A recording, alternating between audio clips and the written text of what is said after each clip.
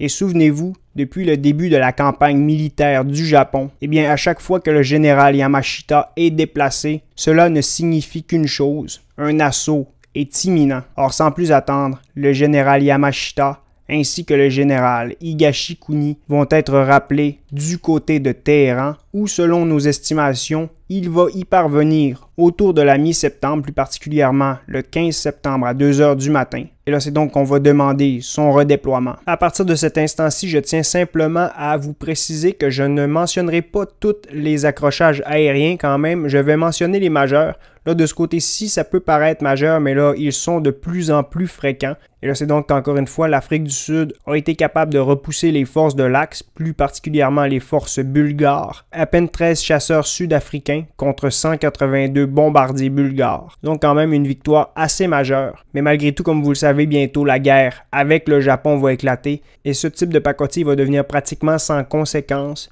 sur le plan global du moins. Or, aussi bien dès lors commencer à s'y habituer. Fait d'un bien plus grand intérêt immédiatement après, nouveau débarquement de Dover. Et là, cette fois-ci, selon toute vraisemblance, l'Allemagne a réussi à prendre pied sur le sol. Et là, on va donc voir si cette province va tomber en leurs mains. Ce que je peux vous dire, c'est que dans les prochaines semaines, euh, le Japon compte fermement arrêter ses marchés de pétrole avec le Royaume-Uni. En effet, selon nos estimations, ceux-ci possèdent tout de même 51 000 barils de pétrole, ce qui n'est pas peu dire. Pour notre part, on en a 262 000 certes. On est les plus gros producteurs mondiaux.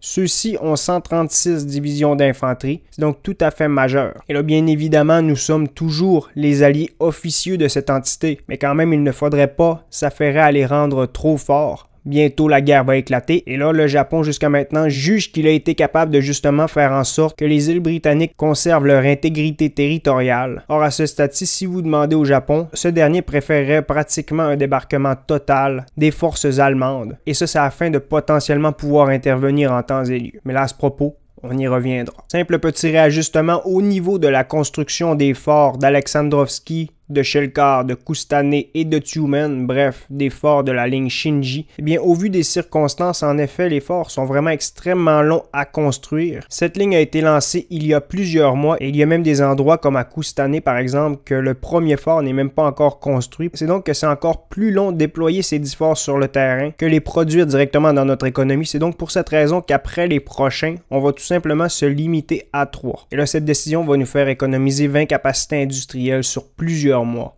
capacités qui vont être réinvesties ailleurs, à ce stade probablement dans les améliorations. À peine les Allemands sont-ils arrivés du côté de Dover qu'ils ont été à nouveau repoussés, ont rembarqué à l'intérieur de leur navire. Et là, la chose leur a coûté somme toute assez cher. Et là, c'est donc qu'une nouvelle fois, Hitler a été humilié. Mais c'est extrêmement bon puisque, selon nos rapports, ce dernier se trouve du côté de Berlin est en furie totale et ne cesse de critiquer ses généraux qu'il considère comme des incapables. Et là, toujours selon ces mêmes rapports, celui-ci a décidé tout simplement de s'ingérer plus que jamais à l'intérieur de cette opération. Et là, à ce propos fait extrêmement intéressant, Tokyo a commencé des pourparlers avec Hitler afin de l'aider justement à parvenir à son but. À ce propos, n'oublions pas non plus la conférence de l'Orient qui consistait à séparer les sphères d'influence de l'Irlande et de l'Angleterre, respectivement entre le Japon et le Troisième Reich. Et là, à ce propos, connaissant Hitler, qui a vu le succès rapide des Japonais, bien les Japonais ne veulent justement pas le heurter davantage, veulent tout faire en leur pouvoir pour qu'il réussisse son coup,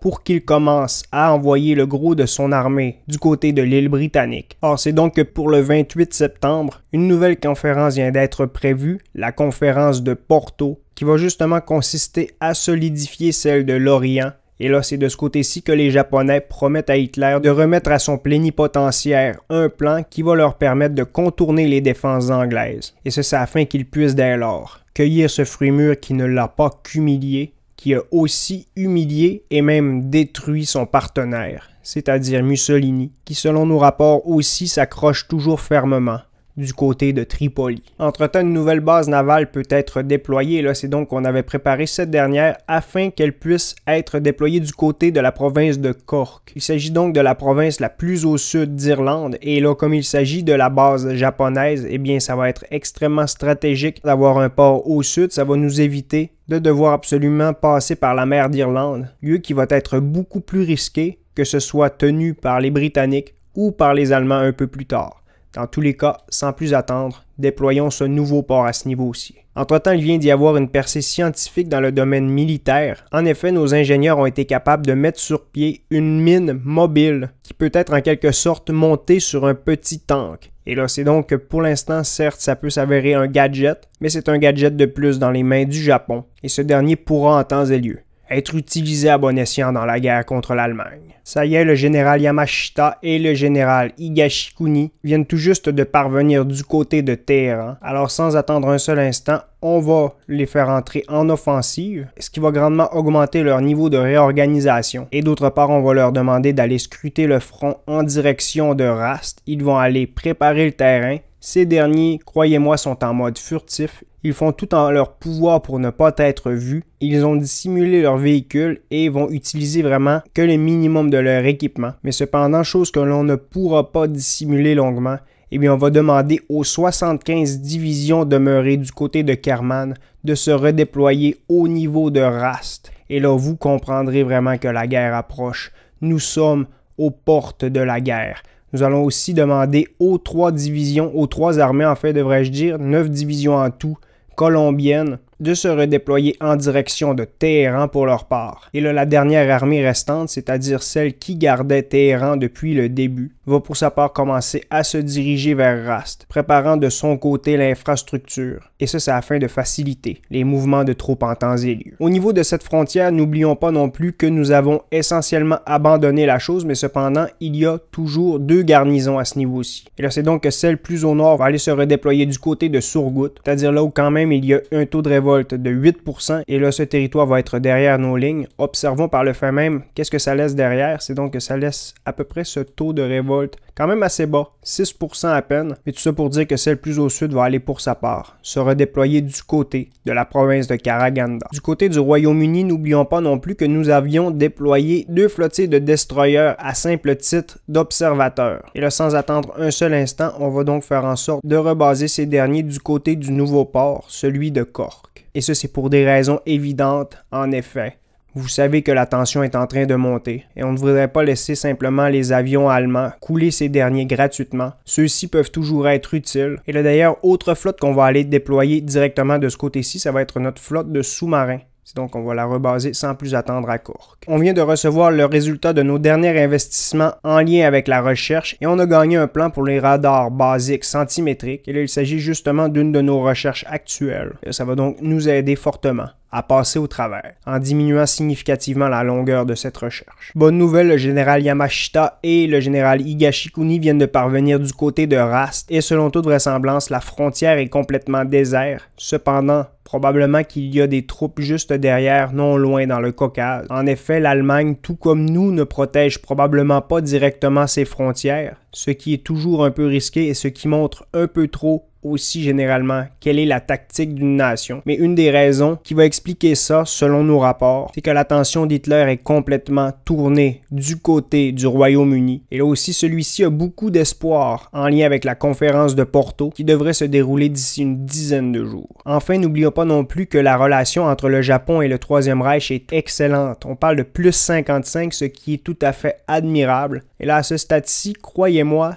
ces derniers ne se doutent d'absolument rien, et ça c'est simplement puisqu'Hitler fait totalement confiance aux Japonais, les considère pratiquement comme ses égaux, des frères certes lointains, mais aucunement inférieurs, selon lui, à la race germanique. Or voilà donc en gros à peu près quelle est l'atmosphère la veille de la plus grande guerre de l'histoire de l'humanité. Et croyez-moi à ce propos, les Japonais en sont pleinement satisfaits. Simplement pour votre information, celui qui va être en charge de la conférence de Porto, en quelque sorte le plénipotentiaire japonais, va être nul autre que le chef de la marine, c'est-à-dire Takeshi Takarabe. Mais croyez-moi aussi, ce dernier est vraiment en train de tomber. En effet, son étoile est en quelque sorte en train de s'estomper face à l'Empire du Soleil d'acier. C'est donc pour cette raison que plusieurs sont vraiment dubitatifs. Pourquoi a-t-il été choisi pour mener cette dite conférence? En effet, Les plans de l'état-major japonais sont à ce point opaques, même son cabinet ministériel n'est pas véritablement au courant de tout. Entre-temps, une nouvelle technologie vient d'être développée. Il s'agit des magasins de réparation de véhicules en première ligne. Et avant de se tourner vers le remplacement de cette dite recherche, sachez tout simplement que la ligne Shinji vient tout juste d'être complétée. En fait, elle a été complétée à l'intérieur des usines. Là, dorénavant, il reste à la montée, mais quand même, il s'agit d'un palier tout à fait majeur en lien avec le front Et là, d'autre part, toujours niveau production, eh bien, deux nouvelles armées ont été produites. Et là, croyez-moi, la dernière fois, j'avais mentionné qu'il n'y aurait plus de Haganegun de série 9, mais cependant, je me suis trompé selon toute vraisemblance. Il va y en avoir deux nouvelles. Or, c'est donc la Haganegun 941 ainsi que la 942 vont être créés de ce pas. Et là, d'autre part, c'est donc qu'il y a sept unités de ce côté-ci, du côté de Tokyo, et à ce niveau-ci, il y a justement sept flottilles. C'est donc qu'on va faire en sorte de redéployer sans plus attendre ces unités qui sont destinées à demeurer des réserves de ce côté-ci. C'est donc six divisions, deux armées en tout, plus une garnison qui va aussi apporter son effet positif sur l'arrière-pays de l'Empire du Soleil d'Acier. Et là, sans plus attendre, en lien avec la recherche, on va poursuivre avec les ingénieurs en date de 1945, ce qui va augmenter, et là, c'est un des faits les plus importants important à ce niveau-ci, notre capacité de transport de plus 1%. 1%, ça peut paraître bien peu, mais quand même, c'est extrêmement important d'aller chercher chaque pourcentage à ce niveau aussi. Comme la terminaison de la ligne Shinji a libéré beaucoup de capacités industrielles, et eh bien pour la première fois depuis des années, notre production de ravitaillement va être dans le plus. Et là, c'est donc que oui, bien évidemment, avec de moins en moins de partenaires commerciaux, eh bien, il faut changer notre tactique. Et là, dorénavant, on va produire ce dit ravitaillement. Quand même, notre technique a fortement contribué à renforcer l'économie japonaise. Mais là, éventuellement, il faut s'adapter. Et c'est donc que tout le reste, on le place au niveau des améliorations. D'ailleurs, à ce propos, on est capable de combler 17,21% de nos besoins sur ce plan. Et ça y est, alors que je mentionne ceci, la tension est de plus en plus palpable dans l'air. Croyez-moi, l'état-major japonais est extrêmement affairé à ce stade-ci. La ligne Shinji aussi grouille de partout. Et un des endroits où la chose est le plus palpable s'avère probablement au niveau du front iranien, du côté de la province de Rast. En effet, alors que je mentionne ceci, 87 divisions font face au Reich. Mais toujours pour vous donner un exemple, les divisions du général Yamashita et du général Higashikuni sont désorganisées. Mais d'ici quelques jours, elles vont être pleinement organisé. Et c'est donc alors que nous sommes le 29 septembre, et eh bien, la conférence de Porto a commencé il y a quelques heures. Et à peine quelques minutes après le début, alors que le ministre Takeshi Takarabe a fait une pause pour aller prendre un verre d'eau, et eh bien, ce dernier n'est jamais revenu. Et c'est donc que les gens qui faisaient partie de la conférence, les Allemands, les Italiens qui étaient là en observateur, ainsi que les Japonais l'ont cherché pendant vraiment extrêmement longtemps, mais éventuellement, ce dernier a été tout simplement retrouvé mort dans sa chambre. Et là, ça a été un véritable scandale, mais rapidement, des pistes ont été trouvées et ces dernières menaient toutes vers un pays en particulier. Et ce dit pays, c'était peut-être ce que l'on ne s'attendait aucunement, la Suède. En effet, il s'agit d'un assassin suédois. Celui-ci a été retrouvé avoué son crime. Or, vous l'aurez donc compris, les Japonais se retrouvent dorénavant sans ministre, et là, ils vont devoir changer ce dernier pour Shimada Shitegaro, et celui-ci va donner des bonus bien plus intéressants. Et lui, contrairement à son prédécesseur, est une véritable étoile montante. Et là, c'est donc qu'il y a véritablement quelque chose d'extrêmement louche qui se trame là-dessous. Et là, comme ça crée 1% de dissidence, on va donc aller investir de ce côté-ci. On va aller investir à l'intérieur de notre infrastructure, puisque véritablement, on a besoin de la meilleure infrastructure possible. Mais tout cela pour dire qu'en lien avec le ministre, ça n'a pas fait ni une ni deux, que les Japonais ont pris une décision, et ce fut celle d'envoyer une flotte, leur flotte étoile, cognée à la porte de la Suède.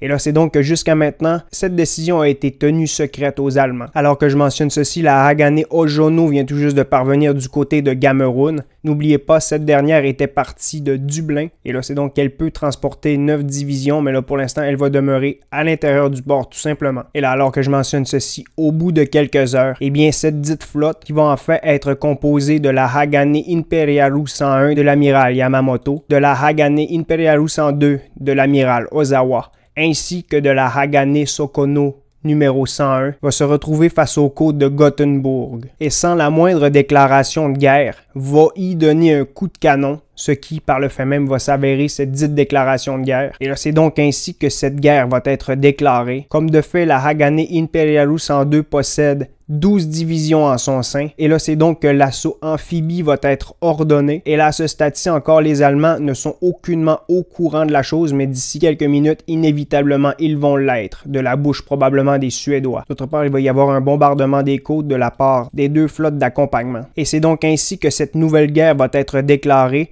Les premières troupes vont commencer à débarquer. Observez par vous-même, le contact vient d'être fait. Et là, on voit déjà les premiers rapports 621 pertes dans les rangs japonais, 1400 dans les rangs suédois, et là, ça monte grandement. L'écart est en train de se diminuer. On parle de 1000 contre 2000.